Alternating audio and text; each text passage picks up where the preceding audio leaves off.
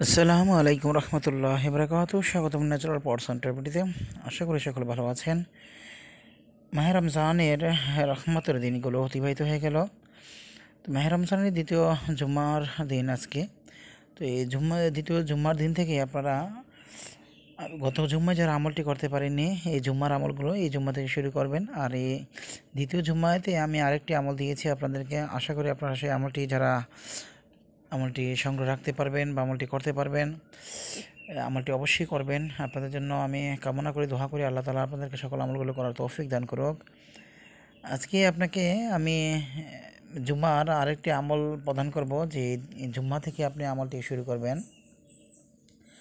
আপনার আল্লাহ তাআলা মাহে রমজান উপলক্ষে পৃথিবীর প্রতিটি মানুষকেই কিন্তু সুষ্ঠুভাবে রিজিক মানে বাড়িয়ে দিয়ে থাকে, বন্টন করে থাকে। অন্য অন্য মাসের তুলনায় এই মাস নিঃসন্দেহে সকল মাস থেকে শ্রেষ্ঠ মাস এবং এবাদতের জন্য সকল কিছু দিক দিয়েই। অন্য মাসে একটি এবাদত করলে যা সব হয় এ মাসে তা সত্তর গুণ বেশি সব হয়।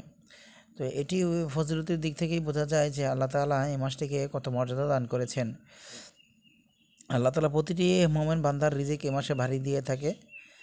অনেক ব্যক্তি যদি যারা বেকার আছেন বিশেষ করে যারা আমি, এখন যে আমলটা আপনাদেরকে বলব, যারা কোনো মতেই কোনো কাজকর্ম ব্যবস্থা করতে পারতেছেন না, যাদের চাকরি হচ্ছে না, ব্যবসা বাণিজ্য হচ্ছে না, বা একদম বেকার অবস্থায় অথবা ছোটোখাটো একটি পুঁজি নিয়ে ব্যবসা বাণিজ্য যাই আপনি দিয়েছেন না কেন সেটি একদম ধ্বংসের ধার প্রান্তে সেটিও আপনার চলছে না। আপনি, দেখা গেছে সেখান থেকে কোনো প্রকার ইনকাম সোর্স মানে ইনকাম সোর্স নেই আপনার এমনিতেই, তারপর যা দিয়েছেন সেটা থেকেও কোনো আর্নিং হচ্ছে না। এই অবস্থায় আজকে আমলটি আপনি করবেন। আর যাদের চাকরি বা অন্য কোনো ব্যবস্থা নেই, হাতে নেই, ঘরে বসে আছেন একদম, তাদেরকেও বলব যে, ঠিক আছে, আপনি আজকের আমলটি যদি আপনারা করতে পারেন, লাল খেজুর নেবেন, তিনটি লাল খেজুরের আমল।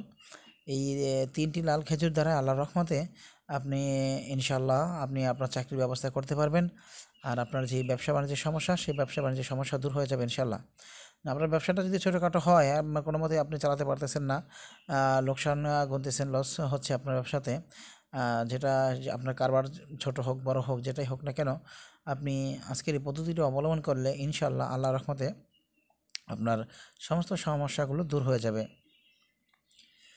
আর আমি আপনাদের কাছে ওয়াদা করেছিলাম যে আমি গত বছর নাই এবছরও সমস্ত রমজানে আপনাদেরকে আমি অজিফা দেওয়ার চেষ্টা করব, যে অজিফাগুলো হান্ড্রেড পার্সেন্ট রেজাল্ট আসে। তো আমি চেষ্টা করে যাচ্ছি, জানি না কতটুকু আপনাদের আশাগুলো আমি পূর্ণ করতে পারতেছি।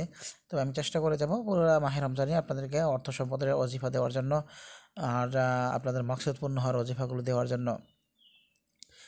তো আপনারা দোয়া করবেন আর ন্যাচারাল পাওয়ার সেন্টার বিটির যারা এর সাথে সম্পৃক্ত আছে এই চ্যানেলের সাথে প্রত্যেকের জন্য, দরবারি বেলা শিল্পের প্রত্যেকের জন্য দোয়া করবেন। আমরাও আপনাদের জন্য দোয়া তুলে দোয়া করে থাকি। হ্যাঁ দোয়া করব ইনশাল্লাহ যত জীবন বেঁচে আছি, এই চ্যানেলের যারা সাবস্ক্রাইবার আছে ভিউর আছে, এই চ্যানেলে যারা হিতাকাঙ্ক্ষী আছে, তার প্রত্যেকের জন্য আমরা দোয়া করে থাকি। আর প্রতিটি ওয়াক্তেই দোয়া করে থাকি ইনশাল্লাহ আল্লাহ রহমতে। তো আলহামদুলিল্লাহ আল্লাহ রহমতে আমাদের সাথে দোয়া শরিক হওয়ার জন্য অসংখ্য মানুষ আমাদেরকে মেসেজ করে থাকে, দোয়া চেয়ে থাকে। তো এটিও আল্লাহর একটি বিশেষ নিয়ামত যে তারা আমাদের কাছে দোয়া চেয়ে থাকে আল্লাহ কার উসিলা কাকে কী করে? ভাই ভরা যায় না, তাই প্রতিটি মুসলমানের প্রতিটি মুসলমানের জন্য দোয়া করা উচিত। আপনি একটি দিনই দুঃখী ভাইয়ের জন্য দোয়া করতে পারেন, আল্লাহ হয়তো আপনার দোয়াটা কবুল করে ফেলতে পারে। হাজারো লাখো লোকের মাঝে হয়তো আল্লাহ আপনার কোনো একটি গুণ পছন্দ করেছে। আপনার হাতটি আল্লাহ পছন্দ করেছে, আপনার ফরিয়ারটি আল্লাহ পছন্দ করেছে। এই কারণে ভাই, আপনি শুধু নিজের জন্য নয়, আমি সমস্ত বিশ্বের মুসলিম উম্মার জন্য দোয়া করবেন। আপনারা যারা যে যেখানেই থাকেন না কেন, এই রমজান মাসে আমি আপনাদের কাছে বিশেষ করে অনুরোধ করব, যারা এই চ্যানেলটি দর্শক আছেন, ফিলিস্তিন, কাশ্মীরের মুসলমানদের জন্য, চীনের উইগুর মুসলমানদের জন্য, আপনার ইরাক, আফগানিস্তান মুসলমানদের জন্য, সিরিয়া, লেবাননের মুসলমানদের জন্য, যারা আপনার প্রতিনিয়ত হত্যার শিকার হচ্ছে, লাঞ্ছনার শিকার হচ্ছে এবং তারা নিজস্ব অধিকারটুকু তাদের জীবনে নেই। এই ধরনের মাস, মানুষগুলোর জন্য আপনারা সারা দেখেন, ওখানে এদের জন্য পৃথিবীর সকল ধর্মের মানুষ ঠিক আছে, প্রতিবাদ করতেছে, দোয়া করতেছে। আর সেখানে আপনারা সে অবশ্যই সেটা কর্তব্য, মানবতার দিক থেকেও আপনার তাদের কর্তব্য, তাদের জন্য দোয়া করা এবং আল্লাহ যেন তাদেরকে ভালো রাখে এবং এই যুদ্ধ বিগ্রহগুলো যেন আল্লাহ বন্ধ করে দেয়। এগুলো থেকে যেন মানুষ মুক্তি লাভ করতে পারে। তো যাই হোক সকল মুসলিম উম্মার জন্য দোয়া চাইব আপনাদের কাছে। আপনারা দোয়া করবেন আল্লাহ তরফ থেকে।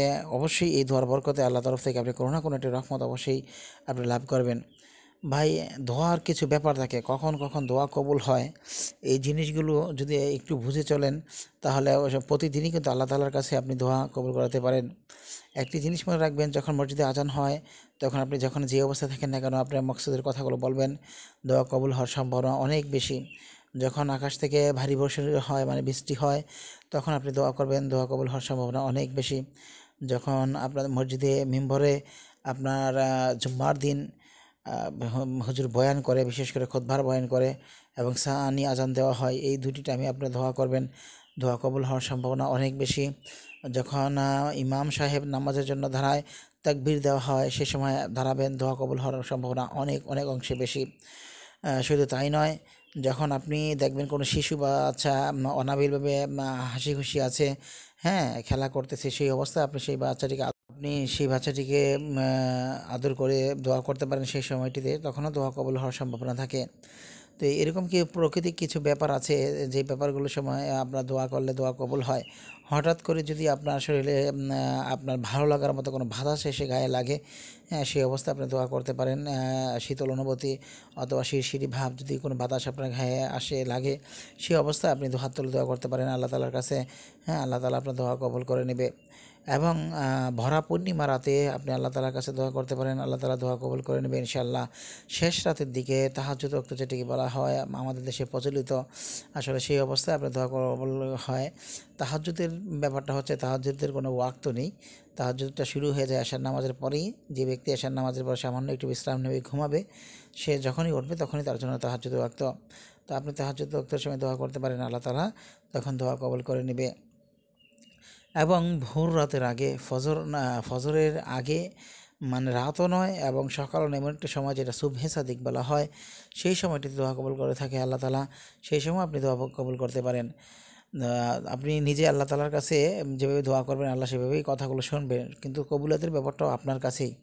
কবুল করানোওয়ালার ব্যাপারটাও আপনার কাছে। যদি একটু বুঝতে পারেন আল্লাহকে কীভাবে বলতে হয়, কীভাবে তার কাছে চেয়ে নিতে হয়, আদায় করাটা একটা শিশু বাচ্চা একটি মার কাছ থেকে কতভাবে আবদার করে, সে তার জিনিসটা আদায় করে নেওয়ার জন্য বা সামান্য পয়সার জন্য, দোকান থেকে কোনো জিনিস কেনার জন্য হ্যাঁ তো তদ্রূপভাবে জিদ এবং বায়না, ভালোবাসা সব সংমিশ্রণ করেই আল্লাহ তালার কাছে আপনাকে চাইতে হবে এবং এই চাওয়ার পরে খেতে ইনশাল্লাহ আল্লাহ রহমতে আপনি অবশ্যই আল্লাহ তালা আপনার দোয়াগুলো কবুল করে নেবে।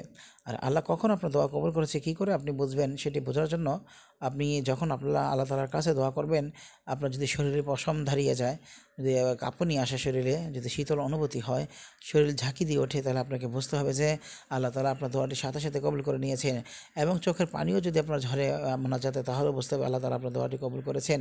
হ্যাঁ কারও দোয়াটা সামান্য একটু আগেই দেখে গেছে আল্লাহ রেজাল্ট দিয়ে দেয়, কারও হয়তো একটু সামান্য সময় নেয় কিন্তু ইনশাল্লাহ আপনার দোয়া কবুল হয়ে গেছে, এটা এই দুনিয়াতেই আপনি ফল পাবেন এবং অতি শীঘ্রই পাবেন।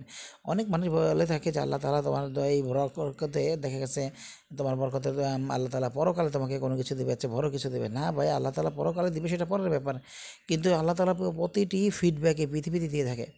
প্রতিটি আমলের প্রতিটি ব্যাপার, ঠিক আছে, আল্লাহ তালা পৃথিবীতেই দিয়ে থাকে ভাই। এখানে আপনি শুধু একটু দরকার আপনার ওই ধরনের বিশ্বাস আর ওইভাবে চাওয়াটা, এর বেশি কিছু না।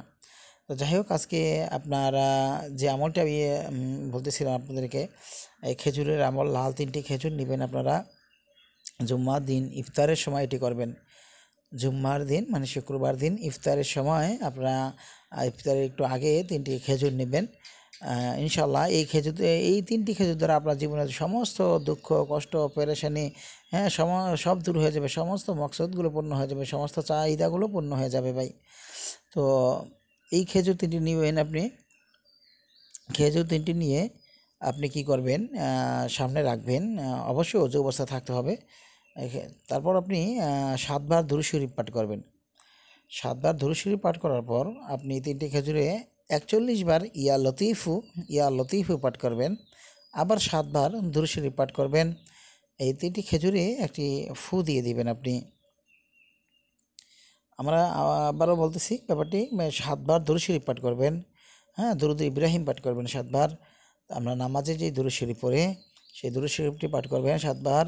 এবং একচল্লিশ বার ইয়া লতিফু পাঠ করবেন, একচল্লিশ বার ইয়া লতিফু পাঠ করবেন এবং পরিশেষে আবার সাতবার দরুদ শরীফ পাঠ করে আপনি খেজুরটিতে ফু দিয়ে দিবেন এবং ইফতার করবেন আপনি এই খেজুর দ্বারা। এভাবে আপনি রমজানের বাকি দিনগুলো অতিবাহিত করুন। ইনশাল্লাহ আল্লাহর রহমতে আপনার সমস্ত মকসদ পূর্ণ হয়ে যাবে। ইনশাল্লাহ আল্লাহর রহমতে আপনি যা আছেন সেভাবেই আল্লাহর রহমতে আপনার দিন অতিবাহিত হতে থাকবে। তো অসংখ্য ধন্যবাদ আপনাদেরকে চ্যানেলটি ভিজিট করার জন্য। যারা চ্যানেলটি এতক্ষণ ধৈর্য সহকারে দেখেছেন এবং ভিজিট করেছেন এবং চ্যানেলটি সাবস্ক্রাইব করার অনুরোধ রইল। আর অ্যাসেসতার জন্য অবশ্যই চ্যানেলটি সাবস্ক্রাইব করবেন, লাইক করবেন, শেয়ার করবেন বন্ধু বান্ধবদেরকে বলবেন। আর কমেন্ট বক্সে আপনার নাম লিখে দেবেন, বাবার নাম লিখে দেবেন, মেয়ে হলে মা নাম সহ লিখে দেবেন। আপনি ইয়া আল্লাহ, ইয়া মোহাম্মদ সেবান আল্লাহ আলহামদুলিল্লাহ, আল্লাহ আকবর ইলাহ সাল্লাহ আলাইসাল্লাম আমিন। এই তসবিগুলো লিখে দেবেন। ইনশাল্লাহ আপনার এজাজত হয়ে যাবে। এজাজতের জন্য আমাদের এক্সট্রা আলাদা কল করার কোনো প্রয়োজন পড়বে না। অসংখ্য ধন্যবাদ ভালো থাকবেন। আল্লাহ হাফিজ।